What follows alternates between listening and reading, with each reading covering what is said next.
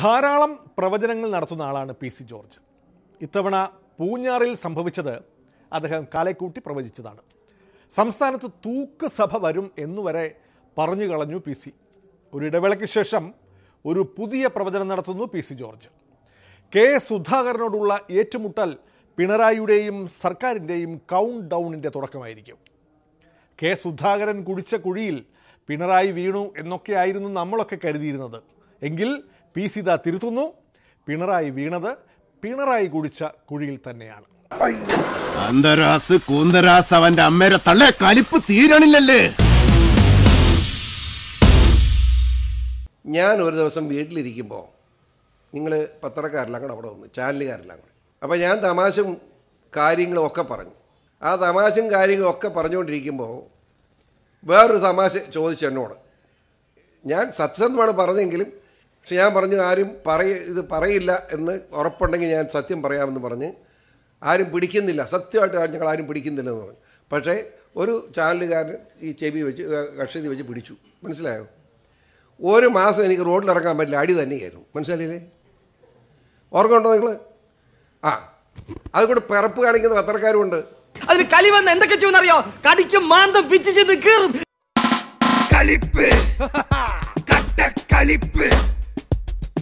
സുധാകരൻ വളരെ വ്യക്തമായി ആ റിപ്പോർട്ടോട് പറഞ്ഞു ഒരു കാരണവശാലും പ്രസിദ്ധീകരിക്കില്ല എന്ന് ഉറപ്പുണ്ടെങ്കിൽ പറയാമെന്ന് പറഞ്ഞ് പറഞ്ഞ ആ ചെറിയ കാര്യം മാനേറെ ഏതോ ഒരാഴ്ചപ്പതിപ്പ് വന്ന് നമ്മളാരും അത് വായിച്ചാലും ഞാൻ കണ്ടില്ലായിരുന്നു. നിങ്ങൾ എത്ര പേര് വായിച്ചെന്ന് എനിക്കറിയില്ല. പക്ഷേ അത് ഇപ്പോൾ ലോകം മുഴുവൻ എങ്ങനെയാണ് പിണറായി അതിന് മറുപടി പറയാൻ പോയപ്പോഴാണ് പിണറായി ബ്രിട്ടാസ് എഴുതി കൊടുത്ത് മുഴുവൻ അങ്ങ് പ്രസംഗിക്കുകയായിരുന്നു. വല്ല കാര്യമുണ്ടോ അങ്ങേർക്ക്? തനിക്ക് ഇല്ല. ആ അത് തന്നെ. കേരളം ഭരിക്കുന്ന പിണറായി വിജയനല്ല ബ്രിട്ടാസ് ഉൾപ്പെടെ ഫാരിസ് അബുബക്കർ ഉൾപ്പെടെ ഒരു നാലംഗ ടീമിന്റെ അദൃശ്യ കരങ്ങളാണ് ഈ ഭരണത്തിന് പുറകിൽ. ആ ഭരണം നിയന്ത്രിക്കുന്നതും ഭരണത്തിലേക്ക് ഇവരെ കൊണ്ടുവന്നതും ഈ അദൃശ്യ ശക്തികളാണ് എന്ന് ഞാൻ പറഞ്ഞതാണ്. ഇപ്പോൾ അത് തെളിയുകയാണ്. ബ്രിട്ടാസ് എഴുതി കൊടുത്ത പ്രസ്താവന അതേപടി മുഖ്യമന്ത്രി മുഖ്യമന്ത്രിയുടെ പത്രസമ്മേളനത്തിൽ പറയുക എന്ന് പറഞ്ഞ് ഇതിപ്പുറം നാണം കെട്ട പരിപാടിയുണ്ട്. ഒരു ചോദ്യത്തിന് ഉത്തരമായി ഞാൻ പറഞ്ഞതാണെന്നാണ് ഇപ്പോൾ അദ്ദേഹം തലയൂടാൻ വേണ്ടി പറഞ്ഞത് ഏത്? ഒരു പത്രപ്രവർത്തി. എല്ലാം അവരുടെ തലയിൽ കൂടെ കയറ്റിയാൽ മതിയല്ലോ. പത്രക്കാരന്റെ ഒരു ചോദ്യത്തിന് ഉത്തരമായി ഞാൻ പറഞ്ഞു പോയതാണെന്നാണ് പറയുന്നത് പത്രക്കാരനെ ഇങ്ങനെ ചോദിക്കുമെന്ന് അറിഞ്ഞുകൊണ്ട് പിണറായി വിജയൻ എഴുതിക്കൊണ്ടെന്ന് എഴുതിക്കൊണ്ടൊന്ന് വായിക്കേണ്ട കാര്യമല്ലുണ്ടോ കെ പി സി സി പ്രസിഡന്റിനെ പുലപ്പ്യം പറയാനും അപമാനിക്കാനും ശ്രമിക്കുന്ന പത്രസമ്മേളനം ഒരു മുഖ്യമന്ത്രിക്ക് ചേർന്നതല്ല എന്ന് പറയാതിരിക്കാൻ പറ്റില്ല. പരാതിക്കാരനായ ഭഗീരഥൻ പിള്ളയ്ക്ക് മാധവൻ നായരോടുള്ള വ്യക്തി വിദ്വേഷത്തിന്റെയും പ്രതികാരത്തിന്റെയും ചെക്കിലെ മയിൽക്കുറ്റികൾക്ക് പോലും സുപരിചിതമാണ്. അതുപോലെ തന്നെ ഞാൻ പറയുന്നു എന്റെ ഒരു അഭിപ്രായം ഒരു സംശയം വേണ്ട. മുഖ്യമന്ത്രിയുടെ കൗണ്ട് ഡൗൺ ആരംഭിച്ചിരിക്കുന്നു. അത് ആരംഭിക്കാതിരിക്കാൻ കഴിയില്ല. ഇനി ഒന്ന് രണ്ട് മൂന്ന് നീണ്ണി എപ്പോൾ പിരിയും എന്ന് നോക്കിയാൽ മതി. തുടരാൻ കഴിയില്ല. എന്തും നേരിടാൻ തയ്യാറായിട്ട് തന്നെയായി നാടകത്തിൽ ഇറങ്ങിത്തിരിച്ചിരിക്കുന്നത് സി പി എംകാരെ പോലും ഒരുമാതിരി നശിപ്പിച്ചുകൊണ്ട് നടക്കുന്ന പിണറായി വിജയന്റെ മുന്നേറ്റമായത്.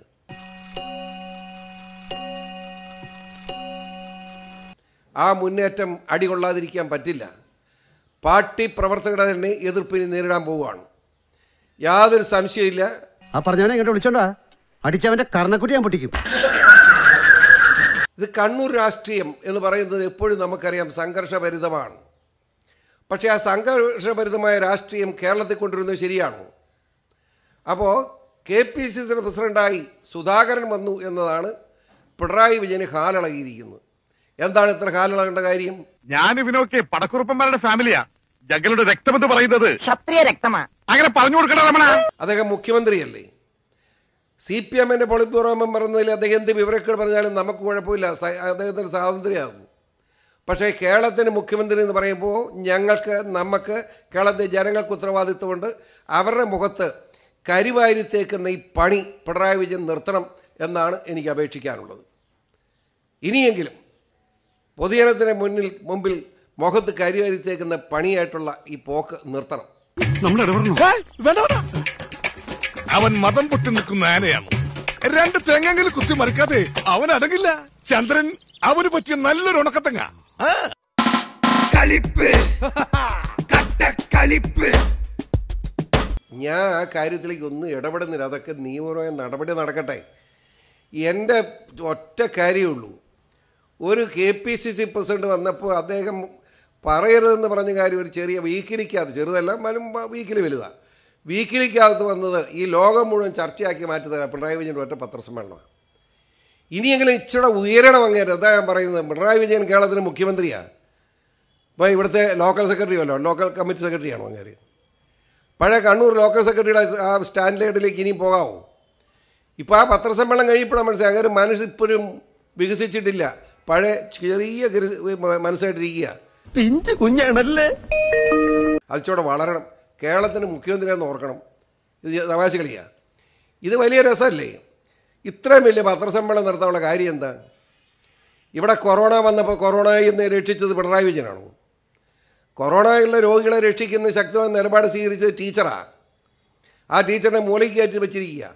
എന്നിട്ട് ആ സാധനം ഏറ്റെടുത്തിച്ച് ദിവസം പത്രക്കാരെ കണ്ടുകൊണ്ട് തള്ളു നടത്തുക. എല്ലാ വയസ്സും വൈകുന്നേരം ഓരോ തള്ള്. ആ തള്ളിലൂടെയല്ല വീണ്ടും അധികാരത്തിൽ വന്നത്? ആ തള്ളെല്ലാം കൗണ്ട് ഡൗൺ തുടങ്ങി. ഈ പത്രസമ്മേളനം ഇപ്പോഴാണ് ജനങ്ങൾക്ക് ആളെ മനസ്സിലായത്.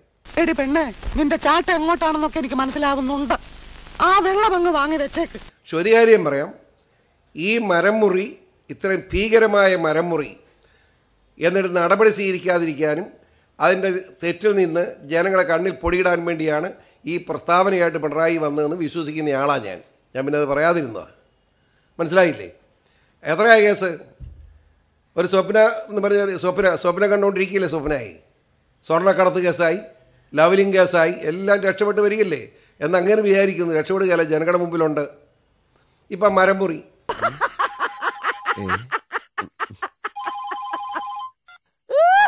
ഹലോ? എന്താടാ?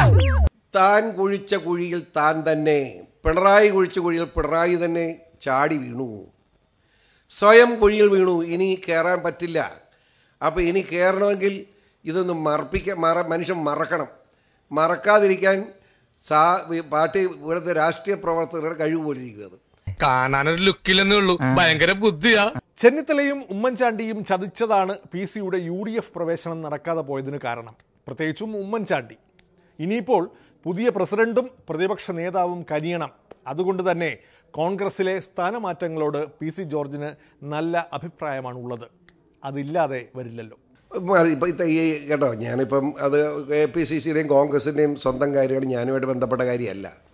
ഇങ്ങനെ ഒരു പൊതു സംസാരം പിണറായി ഈ സുധാകരൻ വന്ന് നന്നായി എന്നാണ് ഞാൻ സംസാരിക്കുന്ന ആളുകളൊക്കെ രാഷ്ട്രീയം വലിയത് അതിപ്രസരം ഇല്ലാത്ത യു ഡി എഫ് മെന്റാലിറ്റിയുള്ള ആളുകളെല്ലാം തന്നെ ഈ സുധാകരന്റെ വരവിനെ സ്വാഗതം ചെയ്യുന്നവരാണെന്നാണ് ഞാൻ മനസ്സിലാക്കുന്നത്. എനിക്കറിയില്ല എനിക്ക് അത് പറയാൻ അവകാശമില്ല.